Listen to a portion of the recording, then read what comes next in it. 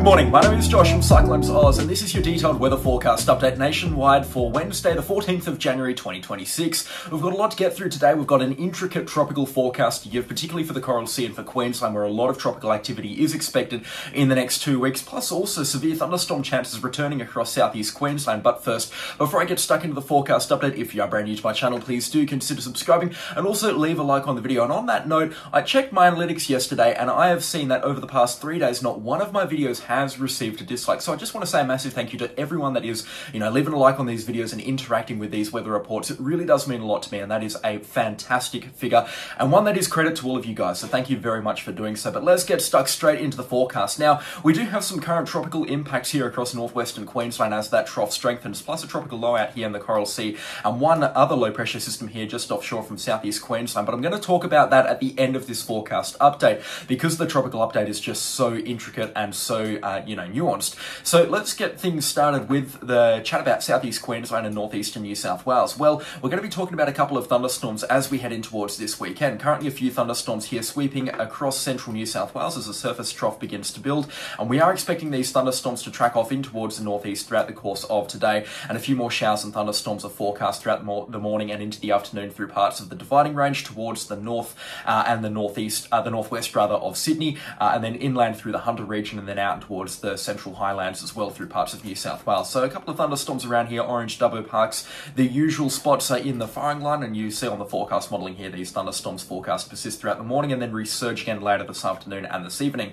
Tomorrow we'll see a couple of thunderstorms in the morning once again, then a few more thunderstorms developing into the northeast of New South Wales. Some of these may go severe. We'll also see a couple of severe thunderstorms out here and towards western Queensland, so Cunnamulla and Charleville. We may see a pretty solid line of squall thunderstorms develop out here, which means heavy rainfall in a straight line damaging wind risk out around the Charleville area, making it out to about Roma later on into the afternoon the evening as a, uh, a bit of a weaker storm system by around 10 or 11 o'clock at night, but lots and lots of lightning. So if you are chasing out this part of Queensland, you're going to get some cracker thunderstorms throughout tomorrow afternoon and evening. Pushing things forward a little bit further, you can see further thunderstorm activity into the northeast of New South Wales on Friday, maybe a good thunderstorm or two as well into the scenic rim and Darling Downs on Friday afternoon and evening as well, particularly around the Warwick area and then also out towards the west of Warwick and Toowoomba, uh, around the Miles area, we may see a good thunderstorm or two out here. Conditions are looking pretty solid for thunderstorms, all things considered. If we have a look at convective available potential energy, those numbers have started to increase a little bit, particularly compared to yesterday's forecast.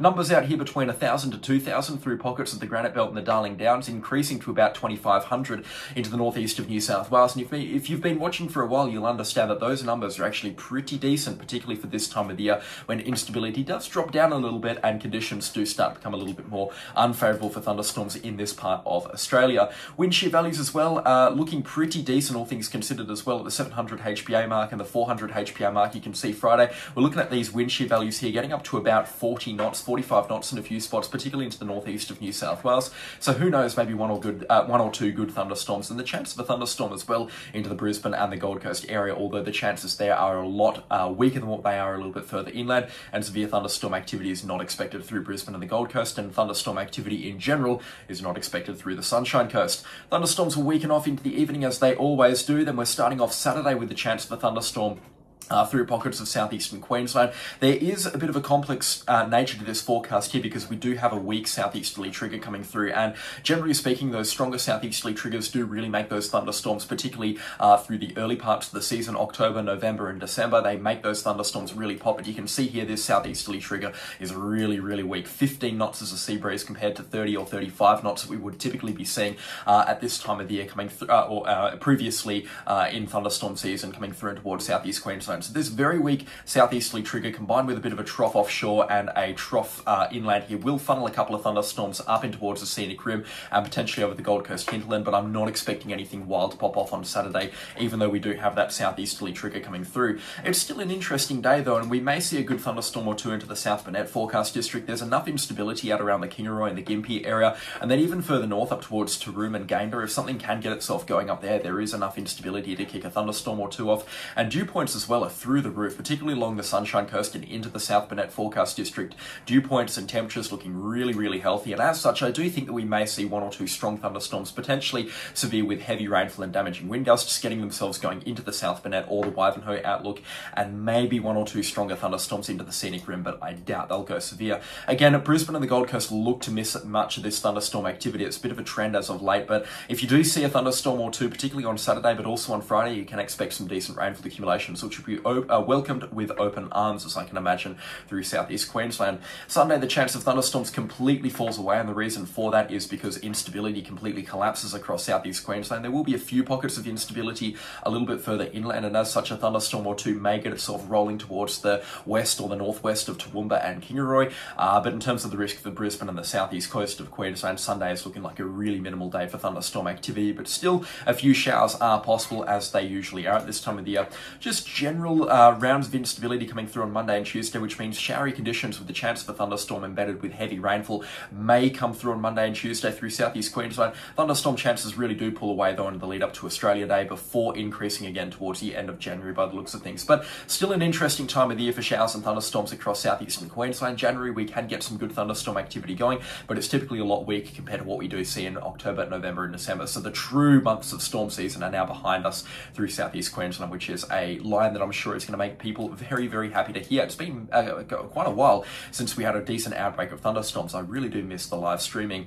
Um, anyways, talking about New South Wales, because we do have a little bit of rainfall on the cards for the uh, eastern seaboard. In fact, particularly into the next week, we could be looking at some half decent rainfall accumulations into the southeast coast of New South Wales.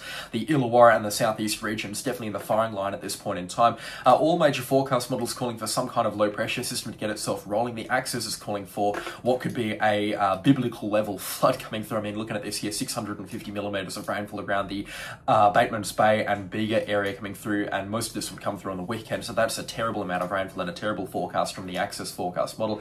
But just give you an idea of what we're expecting, it looks like a low pressure system is going to sweep up through the Bass Strait later tonight and into tomorrow. We'll see a couple of thunderstorms develop across Victoria, particularly around the Gippsland region through tomorrow afternoon and evening, before heavy rainfall developing with an adjacent low pressure system kicks itself off through Thursday afternoon and evening through Friday, and this rainfall and shower activity persisting through Saturday, Sunday, and then clearing off on Monday and Tuesday for the New South Wales East Coast. So just to reiterate on that here, low pressure system coming through this part here on Thursday, showers and thunderstorms on Thursday here in towards uh, Victoria, and then this low pressure system sort of getting itself jammed up here against the New South Wales coastline on Friday, uh, Saturday, and then eventually on Sunday, and then all the while funneling ashore some of that heavy rainfall into the southeast coast of New South Wales, and we are expecting a period of moderate falls here across the southeast coast through Friday, Saturday, and Sunday, somewhere between the 100 to 200 millimeter mark. Isolated falls to 300 millimeters are a possibility, and as such, minor flooding can be expected in a number of rivers here across the uh, southeast coast and potentially even the Illawarra.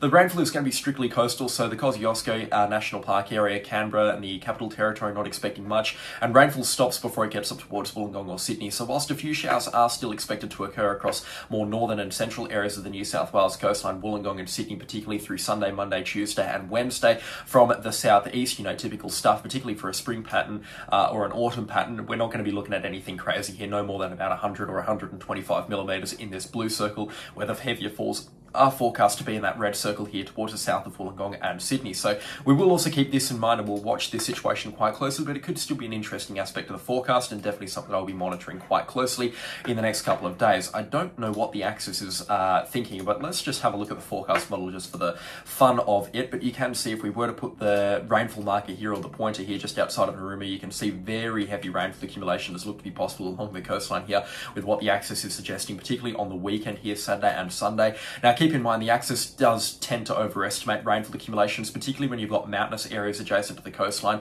Uh, very significant rainfall accumulations can come through in the ACCESS uh, forecast model. So this is definitely one to be taken with a very heavy pinch of salt.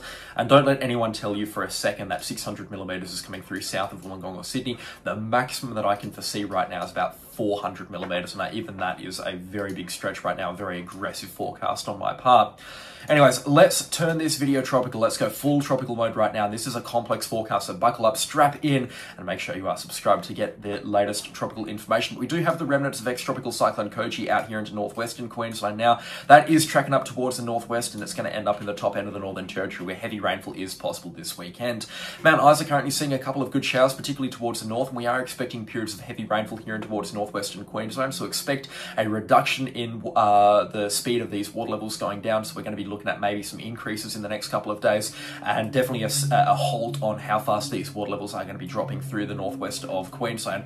Showers and thunderstorms across the, uh, the central coast of Queensland here extending into the Whitsundays and also up into towards the north tropical coast as well. Not too much rainfall associated with it, but we will still see more showers and thunderstorms here rounding around this trough into the central coast and Whitsundays in the next 48 hours. And flooding continues, of course, in towards central Queensland, with water now beginning to pour into the Fitzroy River and significant rises around Rockhampton are expected on Tuesday. I'll touch on the flood cameras there in just a second.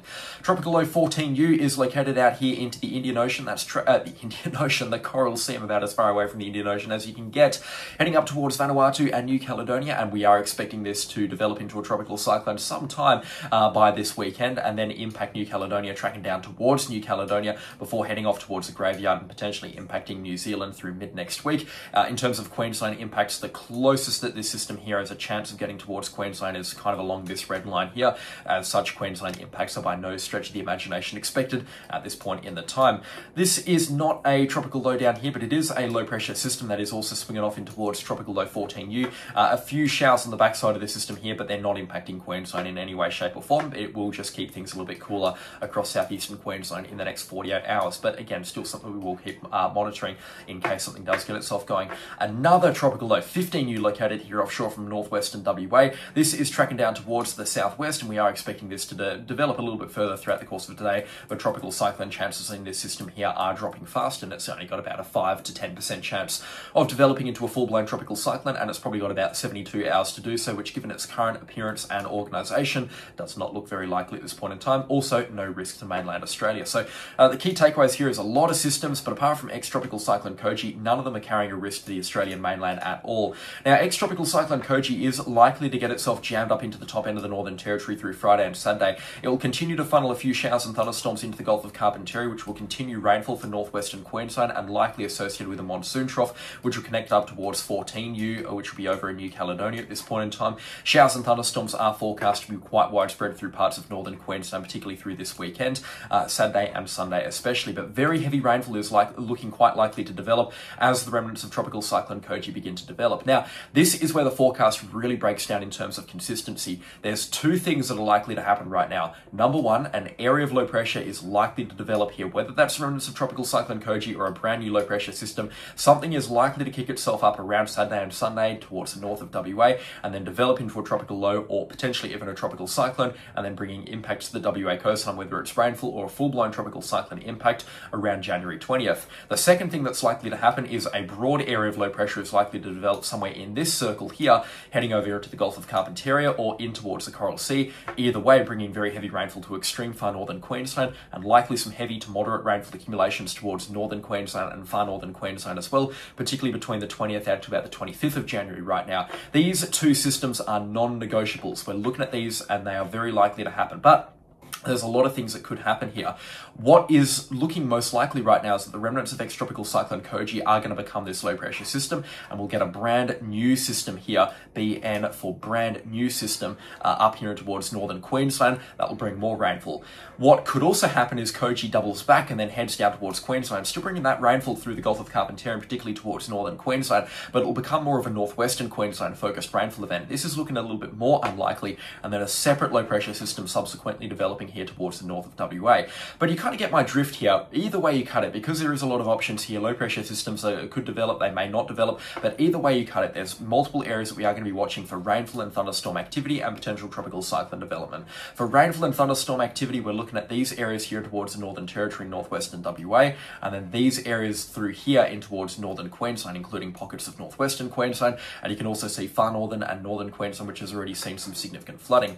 In terms of full-blown tropical low or even tropical cyclone risks, there is a good chance here that something kicks itself off out towards the tropical waters of the Indian Ocean, and whether that becomes a West Australian threat, still out there for the weather gods to decide, but around Australia Day may start to get a bit interesting around here into the Pilbara and the Kimberley coastline. There is a small chance that a tropical low develops here into the Gulf of Carpentaria or into the Coral Sea, and what, or either way you cut it, that always means a tropical cyclone chance, particularly for Queensland, but at this point in time in terms of specifics, whereabouts, if it is going to develop at all, uh, we really don't know at this point in time. So this going to be one that we need to be watching quite closely, but in terms of the risks right now, not something that I'd be worrying about or panicking about right now. We just know that an uptick in rainfall and thunderstorm activity is likely to kick off after this weekend, most likely after about Sunday, so the 19th out to about the 25th, but probably around the 20th out to about the 25th of January, and this will be another area to watch here across northern Queensland.